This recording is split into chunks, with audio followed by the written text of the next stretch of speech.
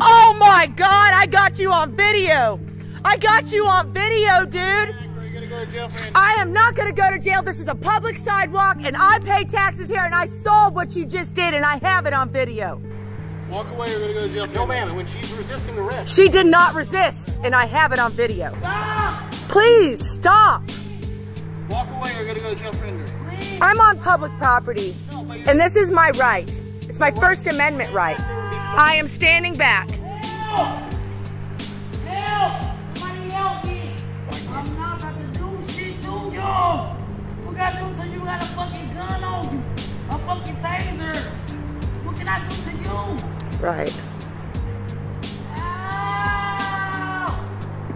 Ow! Get off me, man. Please, Get off me, man.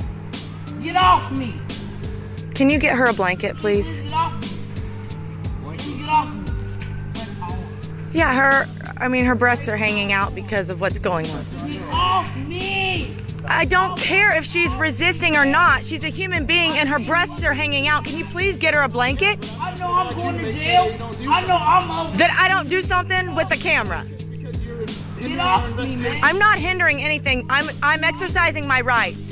I'm exercising my First Amendment rights. You're not going to interject anything to us. But her breasts are hanging out, sir. Interject anything to us. Do you understand that?